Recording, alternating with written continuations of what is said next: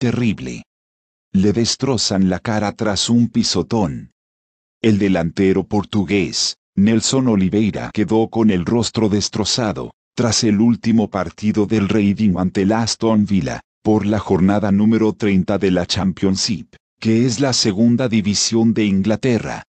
En una disputa con el zaguero rival, Tyrone Mings, zaguero del Aston Villa, el delantero del Reading, Nelson Oliveira, cayó al suelo y sin intención, fue pisoteado, con consecuencias terribles. En una acción muy rápida, el delantero del Reading intentaba regatear a Tyrone Mings.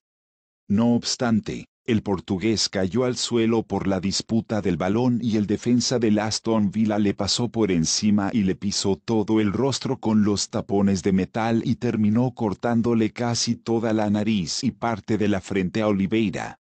El propio Min se dio cuenta de la gravedad de la jugada y pidió que se parara el juego. Con graves cortes en la cara, el atacante tuvo que abandonar el terreno de juego en el minuto 73 y fue trasladado directamente al hospital. Tal y como informó el Reading, el delantero sufrió algunos cortes y ya se está recuperando de sus heridas.